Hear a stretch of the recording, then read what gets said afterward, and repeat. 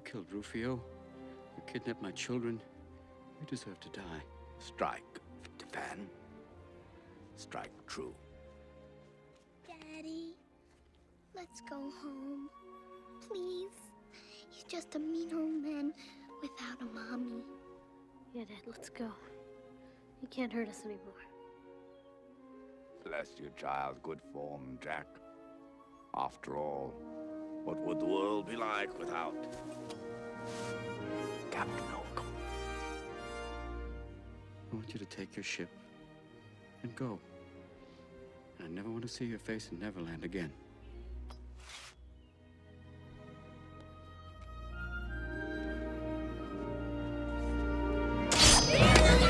Fools, James Hook is Neverland! Whenever children read, it will say, Thus perished Peter Pan.